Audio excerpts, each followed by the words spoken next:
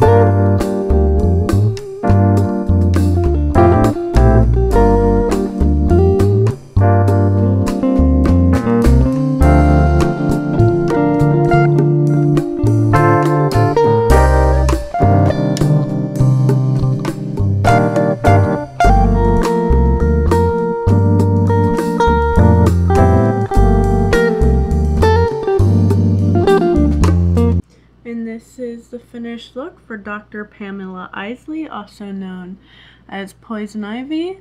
I think I did a really good job. I really like Poison Ivy. She's kind of an unsung like villain of mine. Like everyone always talks about Harley Quinn. I like her too, but she's just too heavily talked about. Anyway, if you guys liked that, please like, subscribe, and don't forget to leave a comment of future videos you would like to see. Bye guys. Midnight Trinity out.